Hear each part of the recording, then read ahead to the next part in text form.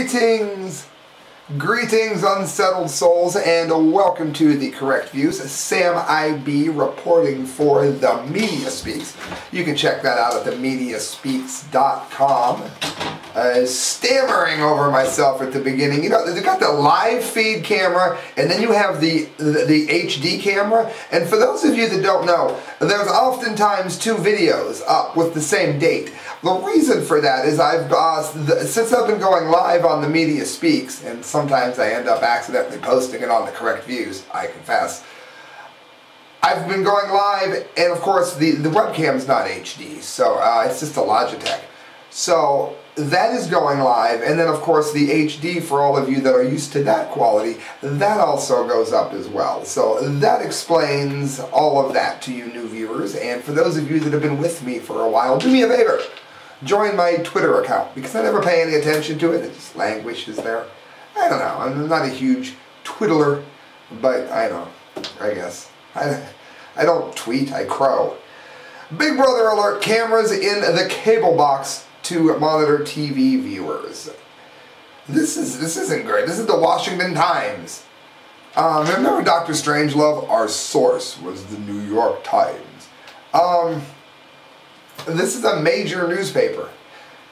How many of you have heard crazy people, or at least we thought, myself included, crazy people talk at nauseum about how our devices were going to watch us when we weren't home. Well, I mean, when we weren't home, when we weren't looking. No teleprompters here, clearly. We always thought those people were crazy, didn't we? Well, our appliances aren't going to watch us. Well, you know what? This isn't like the underground newspaper that nobody's ever heard of before. This is the Washington Times.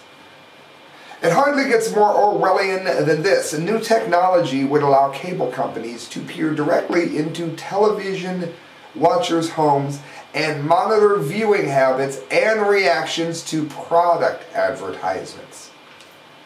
Oh, but as long as I get to see the new Beyonce video and, and I know it's coming and they can judge my reaction, I don't care if they watch me.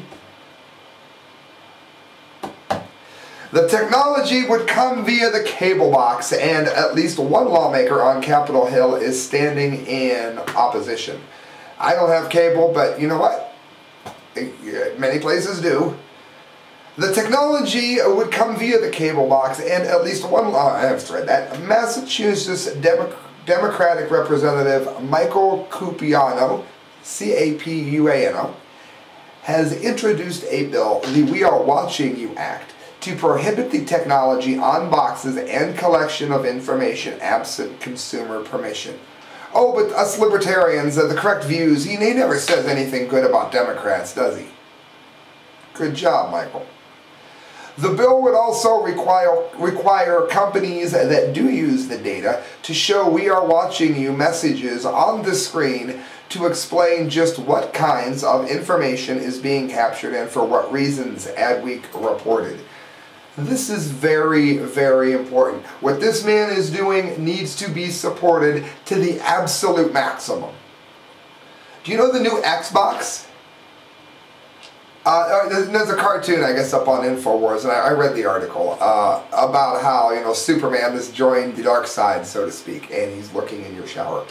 And now he works for the NSA. Well, technically speaking, if it knows where you are throughout the house based on the game system, depending on exactly how your house is laid out and how what your actual showering habits are, that's not too far from the truth. Is that Sam's big freak out? Is that really what he's worried about that they're going to know when he's in the shower? No, really, I, I could care less. You can watch if you want to. You're going to want to leave soon. My point is that a, if, if the wrong person got their hands on this, if somebody's stalker got their hands on this, you know, they'd be able to go into somebody's house when they were in the shower. Uh, it would be nice to know when someone isn't home. Let's forget about the shower for a second. Be nice to know when you weren't home. What if your camera could be hacked from your Xbox while you're at work? You're not home. Who knows? Who knows what phones can do? They might be able to tell if you're home when they're outside your house on the phone. Nope, you're not. Zoop. And the smaller place you live, the worse that could be. Because if you live in a, in a place with many rooms, then it's, it's not as safe. But if you know that someone lives in an efficiency or a rather small unit of some kind, you could rob them blind by hacking this technology. Not to mention in ways that the government will use it. because, I mean, it's through all of it, throughout all of American history. You question your government, or your government will definitely question you, and they will have the answers many times prearranged.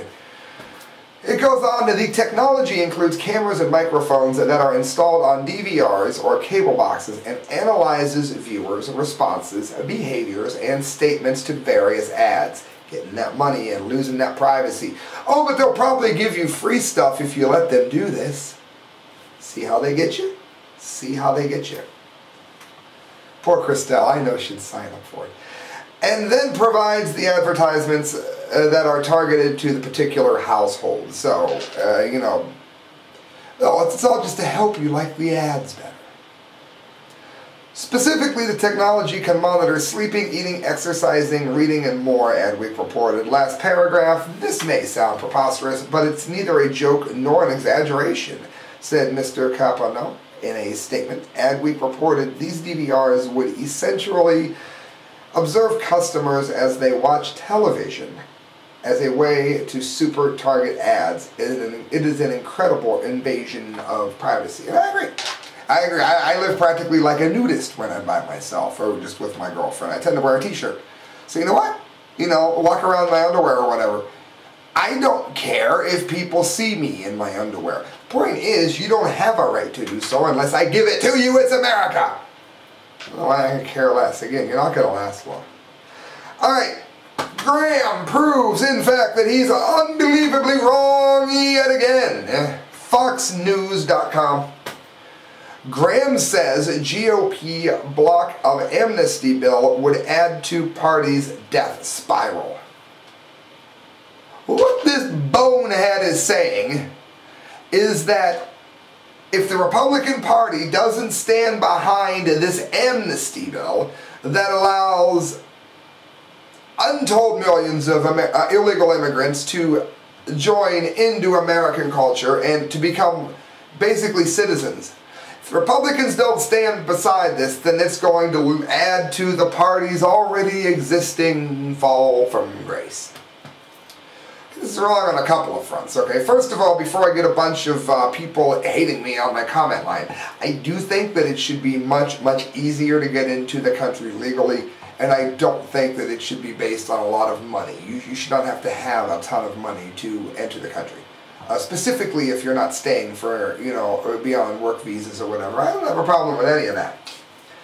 My problem is that I don't want illegal immigrants in my country and their host country doesn't want it either. Go into Mexico sometime. When you're done watching this video, look up what happens to you if you sneak into Mexico the way that they do here. Yeah. See how Ecuador would like it. The top Republican crafting, and for those of you that think I'm racist, I'd have the same problem if it was happening from Canadians who were whiter than me.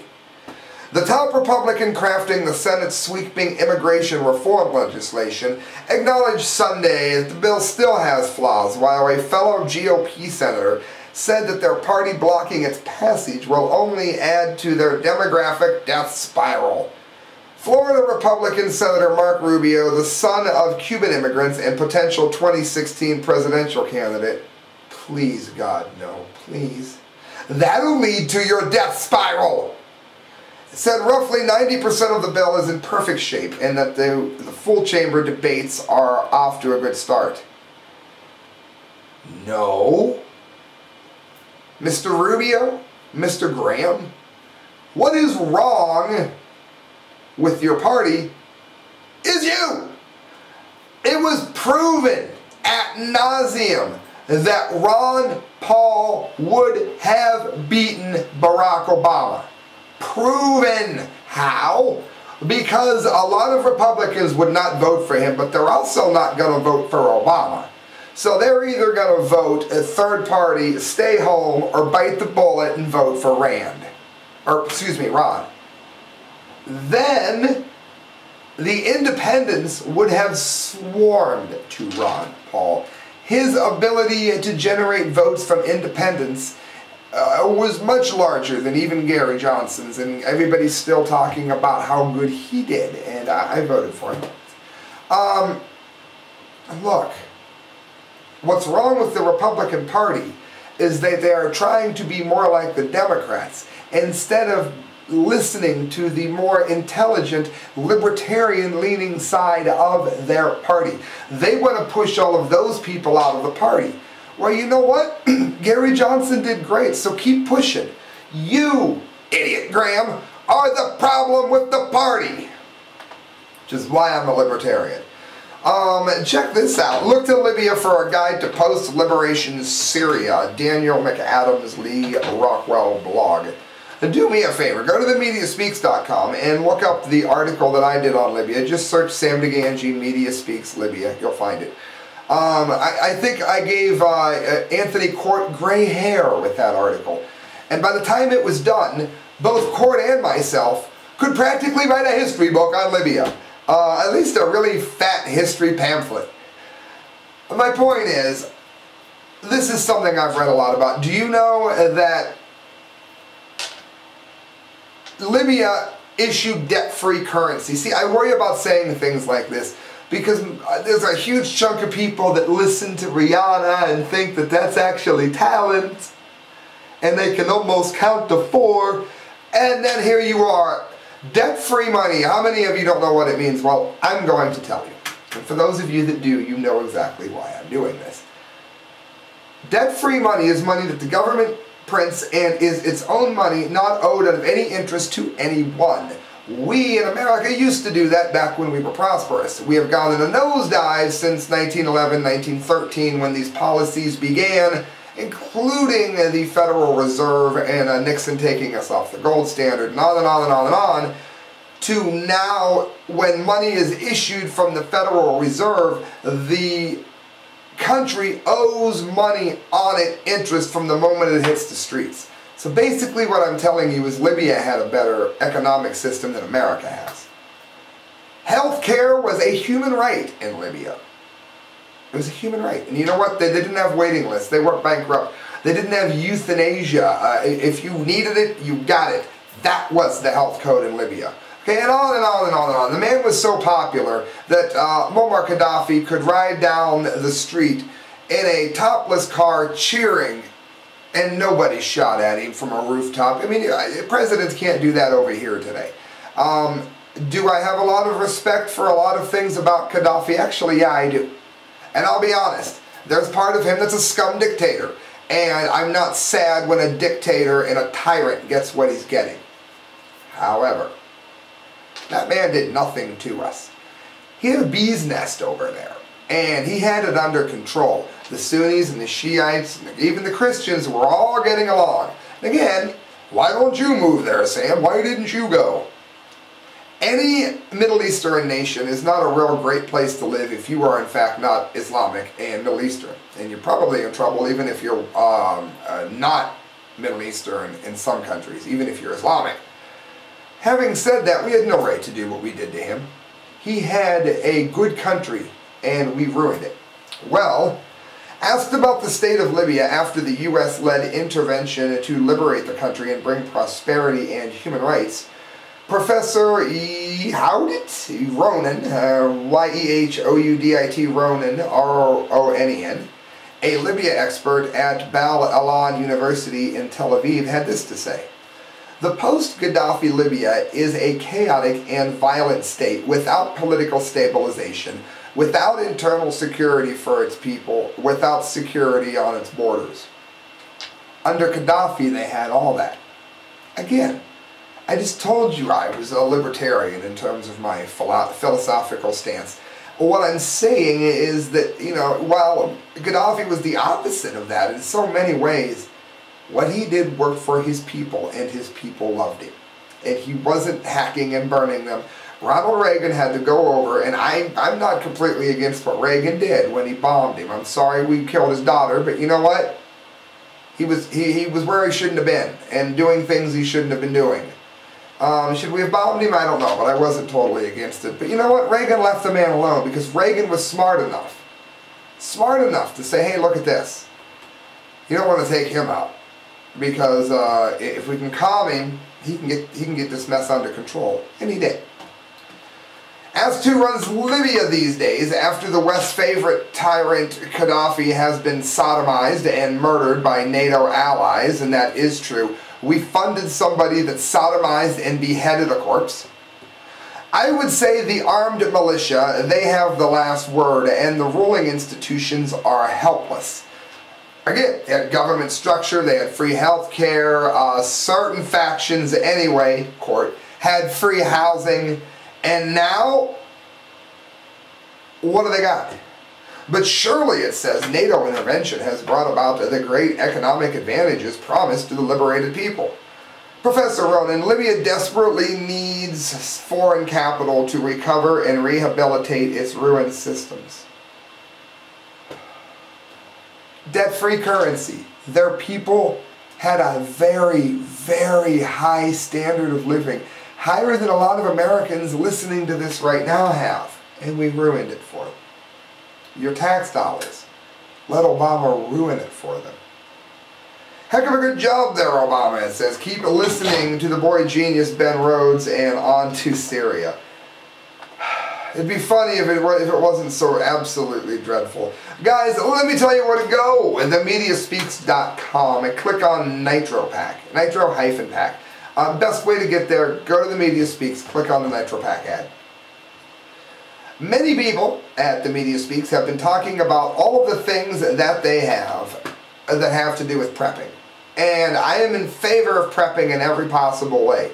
But the correct views loves to go after people that don't normally listen to news shows. A lot of you aren't preppers, you're just campers. Am I right? Good. It's freaking summertime. I live in Ohio, the land of ice and snow. So when summer comes, there's something almost sacred about it. Camping time. Okay. The portable mini LED lantern, $5.99. Practically giving it to you. Practically giving it to you. 36 hour candle, survivor candle, $6.50. Yeah, they got tents. They've got everything you need to have one hell of a summer. And let's face it, it's going to be cold again soon enough. What you want is to actually be able to enjoy the summer and the warmth and the fun that you have while you have time to have it. So go to uh, Media Speaks, hit Nitro Pak, and uh, get yourself a tent, get yourself a lantern, hunting knife, first aid kit. Go out there, fish, and enjoy your summer. Infowars.com, sheeple raking up to NSA spying, privacy search engines booming. I'm going to finish the show with three articles that tell you how to beat the spy network. We're being spied on, like I said at the beginning, in our devices more and more. We're being spied on from the Google and the Yahoo. For those of you that by now don't know who Snowden and Prism is, type in Snowden, S-O-L-S-N-O-W-D-E-N, P-R-I-S-M, and you'll be terrified. Google has been caught again, as has Apple, as has Microsoft, spying. It says the NSA PRISM spying scandal has engulfed practically every major online company, and despite blanket denials of involvement from the likes of Google, Apple, Yahoo, and Microsoft, alternative privacy-oriented internet tools have been a huge boost in traffic as web users are ditching the giants that apparently aided government snoopers. So I'm going to give you, not this whole article, you can read it if you want to. I am going to give you the uh, information you need to get rid of Google, to get rid of Yahoo, to get rid of all these things. Um, DuckDuckGo, it says, for example, markets itself with the strap lines, stop watching us. And Google tracks you, we don't. and they've uh, they've seen record traffic. It says, um, according to Search Engine Watch. I'm going to go to some other things you can get. Other tools such as CryptoCat, which encrypts chat messages before they are sent, has been downloaded double in one week, while Tor, T-O-R, which facilitates anonymous surfing, has seen downloads increase 20 to 30%. Um, what else do we got? I know Kim Komando is, who she's one of the people that, uh, Katherine Albrecht, I'm sorry, um, has helped start Start Page and Start, um, Start Mail. I'm going to read a little bit about her because she's awesome if you don't know who she is. Start Page and Ixquick, X XQuick market themselves as the only third-party certified search engines in the world that do not record your IP address or track your searches. StartPage allows users to access Google results with privacy, while XQuick is a meta search engine that provides private search results that do not include Google results. So those two are very good to know. You search StartPage, you get all your Google searches. Don't panic. You can give up Google without they search Google for you and then they hide you. You understand? You, you still get your Google. Uh, what else do we have here? Oh, Start Mail. I mentioned that. Start Mail is just starting. It is part of Start Page. It's a private email service, so nobody gets any of that information. So go there. This is how we fight back, and this is how we ultimately win. Um, another InfoWars. Tell TSA what you think about its surface mode Gestapo. That's funny. For those of you that don't know, it's, uh, it's a World War II reference. To the losing side, I might add. The TSA wants to know what you think of its effort to turn thousands of transportation employees, drivers, maintenance technicians, dispatchers, station attendants, customer service employees, engineers, conductors, train men, and others into low-level Gestapo agents for the ever-expanding police state. You get the point, guys. Comments can be submitted by visiting regulations.gov and citing docket number. get ready.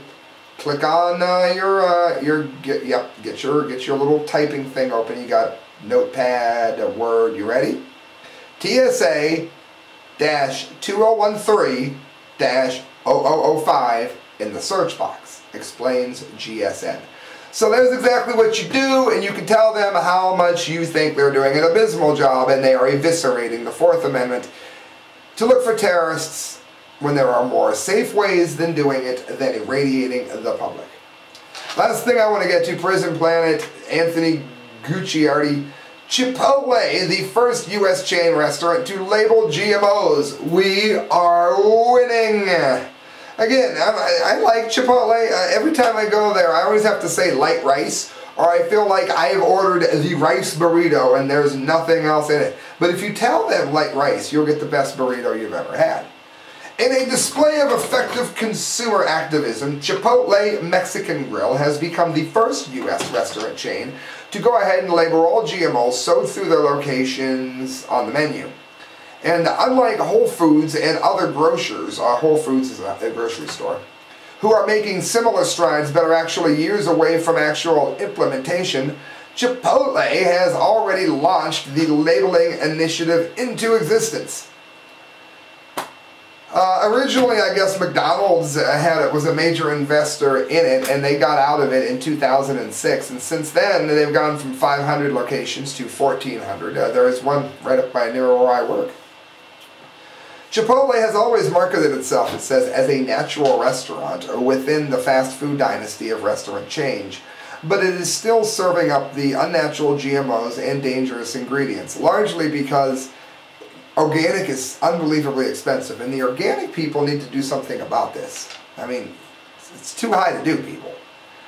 That said, thanks to aggressive consumer activism, Chipotle has officially announced that it will not only be labeling GMOs on the ingredients list of food products, but phasing out all GMOs on the menu. The chain has already made some steps in removing additives in dairy and other items, but the new announcement signals a major recognition of the growing movement against Monsanto and GMOs at large. Had the pleasure of telling uh, someone at the gas station on the way home today at Circle K about what GMOs are and what Monsanto is. He was appalled and he had almost no idea at all. Um, and this is interesting. Last thing I want to close with on here. Recently they switched their fryers from soybean oil to sunflower oil. Soybean oil is almost always made from genetically modified soybeans, that is to say toxic. While there is no commercially available GMO sunflower oil. So there you go. Switch to sunflower oil and fire one GMO product from Monsanto right there. You are listening to the correct views. Thank you for doing so, friends. Good night. God bless. Make sure you go to themediaspeaks.com, click on Nitro Pak, check out the work of Anthony Court, D. Lake, Kyle Phillips, and myself. Lots of articles, both written and video, always going up. Also, check out Resist the Tyranny. Been doing a lot of work with them at the Media Speaks. He's awesome, especially if you are a prepper or a gun owner. Also, I want to say any money you donate to the correct views goes directly to a better show. I'm not out buying, uh, you know, Porsches or anything. All the money you give me goes right back into the show. Um, last thing, make sure you go to the Charity Connection. Dana Mobley Chris, someone who has been raising money for uh, cancer victims and all kinds of charities uh, for a very long time, has in fact herself lung cancer, and we have to help her beat it, guys. Thank you for listening. Good night. God bless.